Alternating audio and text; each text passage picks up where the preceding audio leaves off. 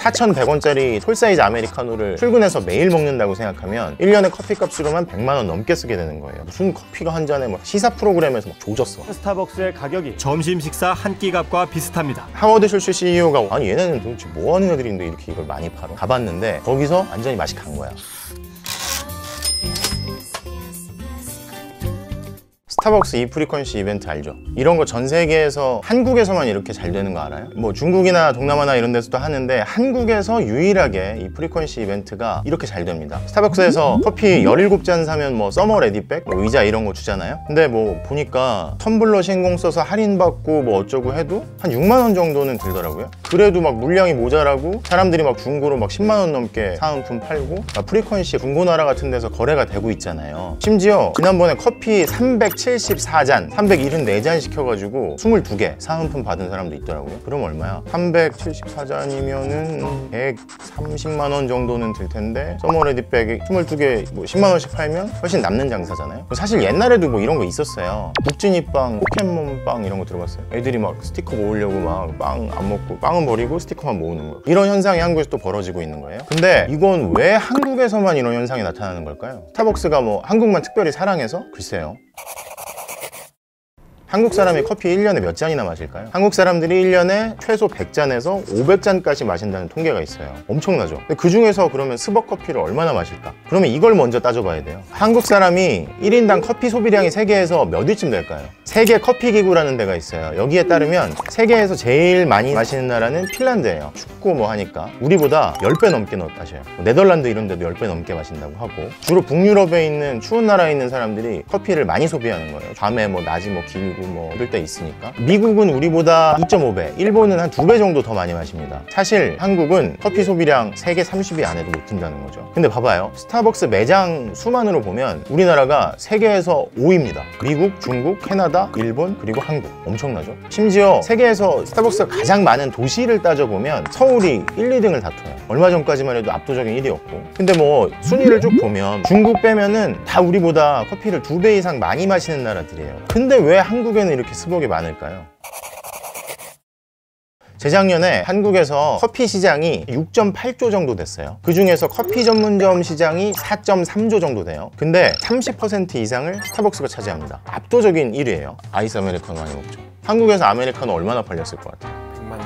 100만 잔? 100만 잔 2017년 한 해 동안 한국에서 팔린 아메리카노만 8,360만 잔입니다. 매출이 그 사이에 50% 정도 늘었으니까 작년 따지면 한 1억 잔 넘게 팔렸을 거예요. 각국의 커피 시장에서 스타벅스가 이렇게 압도적인 비율을 차지하는 나라가 한국밖에 없어요. 한국에서 스타벅스가 진짜 잘 나가는 거죠. 그러면 다시 처음으로 돌아가 볼게요. 스벅은 왜 한국에서 사은품 주는 이벤트를 정기적으로 지속할 수 있느냐 성공적으로? 스벅이 처음에 한국에 들어온 게 1999년이에요. 신세계랑 합작으로 50%씩 지분을 가져가지고 이화여대 1호점을 열었어요. 스타벅스의 종주국인 미국에서도 스타벅스 매출이 주춤할 때가 좀 있었어요. 근데 한국 스벅은 처음부터 지금까지 쭉 잘 나갔어요. 매출이 계속 올랐어요. 그래서 작년에만 1조 9천억 원 가까이 매출을 올렸어요. 한국에서만. 한국 스타벅스는 전체가 직영점이에요. 직영점이다 보니까 광화문이나 이런 데 가면 그런 거 본 적 있을 거예요. 여기 스타벅스 있는데 길 건너면 또 있고 저쪽 가면 또 있고. 이게 왜 그러냐? 어차피 장사가 잘 되니까 하나 더 열어서 여기도 잘 되면 하나 매출이 좀 떨어져도 둘이 합쳐서 더 나오면 되잖아요 매출이. 더 팔면 좋은 거니까. 그래서 매장을 막 여는 거예요. 근데 매장을 이렇게 막 많이 늘리다 보니까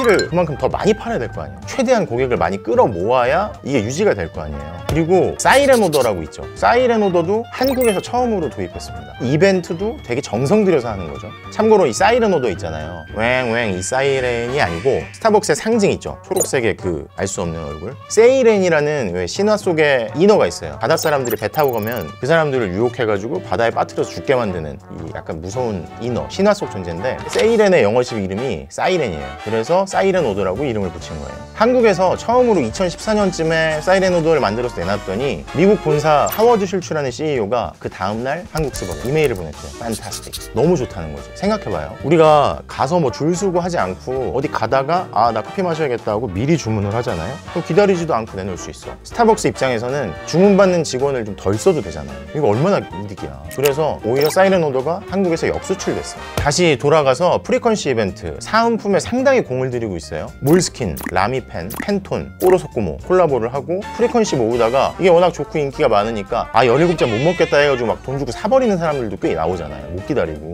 스벅 연말에 다이어리 이벤트를 하면 실제로 매출이 많이 오릅니다. 매출 공개하진 않았지만 이거를 MD라고 하죠. 기획상품. 디자인 전담하는 사람들이 한국 스벅에 있대요. 이거는 미국 본사랑 한국 스벅에 밖에 없어요. 그리고 이게 한국 스벅 매출의 10% 가까이를 차지한다는 얘기도 있어요. 커피 더 마시게 하려고 전담 직원 쓰고 막 진짜 열심히 하는 거지. 이렇게 하니까 스타벅스가 입점해 있는 건물의 가치도 올라갔어요. 부동산 시장에서 이 건물들 인기가 굉장히 높습니다. 건물주들이 스타벅스 들어가 있는 건물을 굉장히 노려요. 그래서 뭐 전지현, 하정우, 권상우, 홍승헌, 박명수 씨의 부인분, 연예계 인사들이 스벅 들어간 빌딩 샀다고 막 기사가 나오고 또 스벅 덕에 뭐 사람들 모이니까 그 건물이 더 잘 될 수도 있잖아요. 건물주 입장에서 좋아할 수밖에 없고 스타벅스는 대부분 월세를 매출이랑 연동해서 내게 돼 있어요. 스벅이 잘 되면 월세를 더 받게 되는 거예요. 건물주 입장에서 얼마나 좋아. 대부분 잘 되니까. 최근에 그래서 제가 찾아봤는데 이 스벅이 입점해 있는 서울 마포에 한 건물이 있었는데 대충 같은 연식으로 근처의 건물들 계산해 보니까 스타벅스가 입점해 있지 않은 다른 건물들보다 매매가가 평균 한 20% 정도 높더라고요. 스타벅스 프리미엄이죠 이 정도면. 그래서 이게 frequency 이벤트가 잘 되다 보니까 후발주자들도 엄청 따라붙었습니다. 각 커피숍에서 막 연말에 막 다이어리 막, 막 주고 있죠. 그리고 중국에서는 왜 짝퉁 스벅이라고 하는 루이싱 커피 굉장히 잘 됐었는데 결국 뭐 회계 부정 이런 것 때문에 사실상 망했어요. 전 세계에서 스타벅스를 따라갈 자가 없는 거예요. 한국에서는 더더욱 그렇고 물론 이 스타벅스 씹는 사람들도 많아요. 국부 유출이다. 커피 너무 비싸다. 사실 비싸긴 하지. 4,100원짜리 tall사이즈 아메리카노를 출근해서 매일 먹는다고 생각하면 52주 곱하기 5, 260잔인데 계산해보면 100만 원이 넘잖아요. 1년에 커피 값으로만 100만 원 넘게 쓰게 되는 거예요. 매일 마시면. 실제로 한국에서 스타벅스 아메리카노를 사 먹으면 한 200원 조금 넘게 미국 본사로 로열티가 갑니다. 계약이 돼 있어요. 그래서 미국 본사가 지난 18년 동안 한국 스벅에서 벌어들인 로열티만 한 3,700억 원 정도 돼요.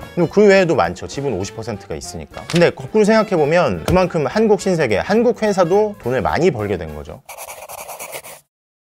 스타벅스는 전 세계 커피 소비 문화를 바꾼 회사예요. 1971년에 스벅이 처음 생겼을 때 시애틀에서 원래는 원두랑 커피 장비 같은 것들 파는 회사였어요. 근데 하워드 슐츠 CEO가 원래는 이 커피 내리는 기구, 뭐 가정용품 이런 거 파는 회사 다니고 있었는데 시애틀의 스타벅스에서 매출이 너무 많이 나오는 거예요. 커피 추출기가. 그래서 아니 얘네는 도대체 뭐 하는 애들인데 이렇게 이걸 많이 팔어? 그래서 궁금해서 가본 거야. 가봤는데 거기서 완전히 맛이 간 거야. 아 이거구나 하고 스타벅스로 옮겨서 87년부터 스타벅스 본사 CEO를 맡습니다. 근데 얘네가 뭘 제공했냐면 원래 그 전까지 미국 사람들은 드립 커피 문화가 주류였다고요. 보통 카페에서 1,000원에서 2,000원 정도 주고 사 먹었대요. 근데 스타벅스가 처음에 딱 나오면서 막 3,000원 이렇게 넘게 파는 거야. 걔들도 비싸다고 여겼겠지 미국 애들도. 근데 스타벅스는 이태리식 에스프레소를 팔잖아요. 거기다가 뭐 물하고 뭐 스팀 밀크 타서 까- 라떼 만들고 해가지고 이게 막 불티나게 팔렸어요. 이태리식 에스프레소가 드립 커피 문화를 바꿔놨어요. 가격도 확 올려놓고 이게 재밌는 게 스타벅스가 어떻게 보면 새로운 용어들도 만들어낸 거예요. 옛날에는 미국에서 커피 마실 때 뭐 레귤러 커피 주세요, 커피 주세요, 뭐 이렇게 했대요. 근데 스타벅스 애들이 갑자기 이탈리아 말들을 막 들여오기 시작한 거 아니에요. 그래서 처음에는 말들이 많았대. 카페라떼 같은 경우도 원래는 카페 오레라는 말 정도 쓰는 사람들이 많았대요. 뭐 그건 불어긴 한데 얘네가 갑자기 뭐 아메리카노, 뭐 카페라떼 뭐 이렇게 막 가는 거예요. 프라푸치노 같은 건 또 만들어낸 말이고 이탈리아 말들을 커피 시장에서 그냥 통용되게 만든 거죠. 미국에서도 처음에는 고가 소비의 상징 같은 거였어요. 그래서 뭐 Sex and the City 여러 드라마에서 뉴요커들이 막 들고 나오고 이게 뭐 고가 소비의 상징, 뭐 있어 보이는 거의 상징 뭐 이런 거였다고요. 그래서 한국에서도 처음에 그랬어요. 처음에 들어왔는데 무슨 커피가 한 잔에 뭐 4천 원씩 대학생들 요새 뭐 생각이 뭐 시사 프로그램에서 막 조졌어. 스타벅스가 한국에 들어와서 폭리를 취하고 있습니다. 우리나라에서 팔리는 스타벅스의 가격이 다른 나라에 비해 터무니없이 비싸다는 사실도 알고 계십니까? 웬만한 점심 식사 한 끼 값과 비슷합니다. 뭐 이런 얘기를 막 했다고 지금도 그런 사람들 있지 하지만 생각해보면 커피도 뭐 4,000원 이렇게 하지만 커피만 비싼 건 아니죠 담배 음식 점 가서 먹는 소주 맥주. 아 뭐 그 정도 가격 하잖아요? 종합해보면 한국의 스타벅스 문화는 한국 사람들이 만든 거라고 봐요. 이걸 뭐 증정품을 받으려고 여름 그리고 연말에 많이 사 먹고 그걸 받아서 기뻐하고 어느 나라보다 더 많이 팔리고. 학생들은 스타벅스 가서 공부하고. 긴급 재난지원금 얼마 전에 왜 스타벅스 서울에서만 쓰게 하냐? 뭐 이런 얘기도 나올 정도면 한국에서 엄청나게 인기가 많고 정말로 한국 사람들이 스타벅스를 좀 사랑하는 거죠. 일종의 한국 사람들한테 스타벅스는 소비 현상이 된 거 아닌가? 아까 그런 얘기 했잖아요 스타벅스는 커피 시장 자체를 바꾼 기업이다. 커피 가격 자체를 올려놨잖아요. 그래서 소규모 카페들도 예전보다 커피 가격을 좀 비싸게 받을 수 있는 측면도 있어요. MD 상품 같은 경우도 일종의 한국만의 문화가 된 거니까 이게 커피 전문점의 문화를 스타벅스가 지금까지 한국에서 이끌어오지 않았나 이렇게 볼 수 있습니다.